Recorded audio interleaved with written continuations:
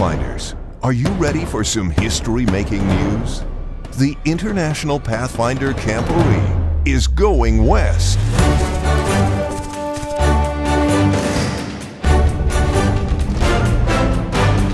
In 2024, come play, learn, and worship at an exciting all-new location in beautiful Wyoming.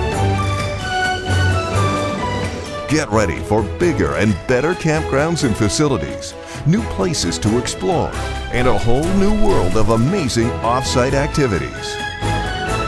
We'll see you at the International Pathfinder Camporee in Gillette, Wyoming.